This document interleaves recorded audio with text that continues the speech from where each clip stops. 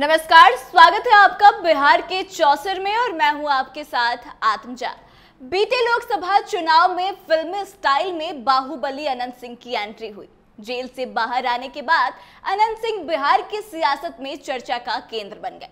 हालाँकि वे सियासी रण में तो नहीं उतरे, लेकिन उनकी राजनीतिक धमक साफ़ तौर पर महसूस की जा रही थी। मुंगेर लोकसभा चुनाव के ठीक पहले जेल से बाहर आकर उन्होंने इस चुनाव को बेहद दिलचस्प बना दिया। जी हाँ यहाँ दो बाहुबलियों की वजह से सियासी गुणागणित पहले से ही काफ़ी दिलचस्प था। जनता दल यूनाइटेड यानी कि जदयू ने ललन सिंह को चुनावी मैदान में उतारा था तो वहीं दूसरी ओर राजद ने बाहुबली अशोक महतो की पत्नी अनिता देवी को अपना उम्मीदवार बनाया। दोनों के बीच की लड़ाई जो है कांटे की मानी जा रही थी, लेकिन अनंत सिंह के जेल से बाहर आने के बाद से मुंगेर की लड़ाई अनंत सिंह बनाम विपक्ष लगने लगी थी। अनंत सिंह के बाहर आने से बिहार में सियासी खलबली मच गई। इस खलबली के पीछे वजह भी थी।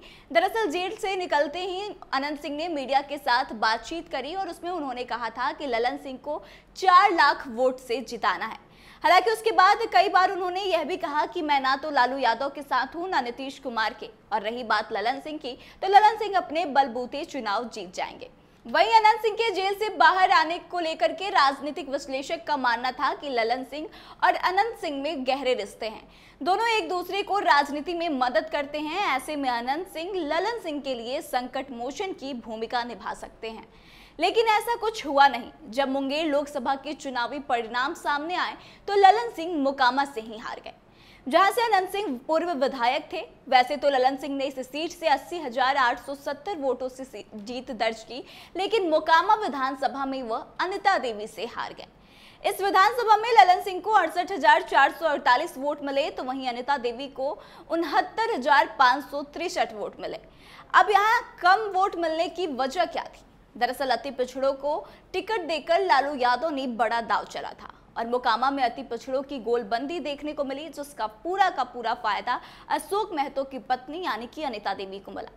साथ ही अनंत सिंह का अति पिछड़ों पर जो दबदबा था, वह कारीगर साबित नहीं हुआ। 2020 के चुनाव में भले ही अनंत सिंह अति पिछड़ों पर अपना जादू चला पाने में सफल रहे थे लेकिन 2024 के चुनाव में बड़ी संख्या में अति पिछड़ों ने उन्हें खारिज कर दिया। इसी का नतीजा था कि जहाँ ललन सिंह मोकामा में बड़े मार्जिन की उम्मीद कर रहे थे, वहाँ वह किसी तरह से अपनी इज़्ज़त बचा पाए। लेकिन फिर भी अनिता देवी से वह पीछे रह गए। और जहाँ अनिता देवी ने उनहत्तर वोट लाए, वहीं ललन सिंह को अड़सठ वोट मिले। वैसे यह पहली दफ़ा नहीं था जब अनंत सिंह ललन सिंह को लेकर मेहनत कर रहे हों और वह असफल हो गए हों। इससे पहले भी 2014 के लोकसभा चुनाव में ललन सिंह को अनंत सिंह ने अपना समर्थन दिया और कहा था कि अगर ललन सिंह हार गए तो वह संन्यास ले लेंगे। और उस वक्त तो ललन सिंह मुंगेर से चुनाव ही हार गए थे। तब अनंत सिंह ने ना तो संन्यास लिया, ना ही कुछ किया। लेकिन इस बार ललन सिंह चुनाव तो जीत गए, लेकिन अनंत सिंह के गढ़ में, यानी कि मोकामा में ही उन्हें विपक्ष से हार का सामना करना पड़ा। तो आपको क्या लगता है, क्या वाकई में अनंत सिंह का दबदबा पहले की तुलना में कम हो रहा है, और क्या अति पिछड़ों पर जो उनकी पकड़ थी, वो धीरे धीरे कम हो रही है? आप कमेंट करके अपनी राय ज़रूर बताएँ। वीडियो अच्छी लगी हो तो शेयर करें, और आगे के तमाम अपडेट्स के लिए बने रहे हमारे साथ। देखते रहे कैपिटल टीवी बिहार। धन्यवाद।